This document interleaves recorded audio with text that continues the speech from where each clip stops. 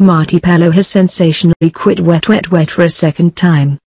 Taking to his own official Twitter account on Friday afternoon, the 52-year-old broke the news to his fans, explaining he'd be concentrating on his solo career for the foreseeable future.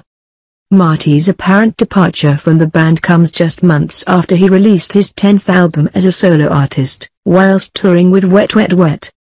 Taking to social media, the Scottish star explained the decision, writing, Hi all, wanted you to know for foreseeable future I'll be concentrating on my solo work, am excited by the future and seeing you out there X. This is the second time that Marti has walked out on the band, having first left them in 1999 to deal with substance addiction issues, before going on to pursue a solo career.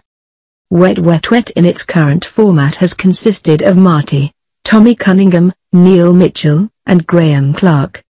Hi all, wanted you to know for foreseeable future I'll be concentrating on my solo work, am excited by the future and seeing you out there ex. Marti's shock departure comes just months after the Scottish band celebrated their 30th anniversary with a summer tour. Though Marti has also renewed his solo career this year, putting out new material in May.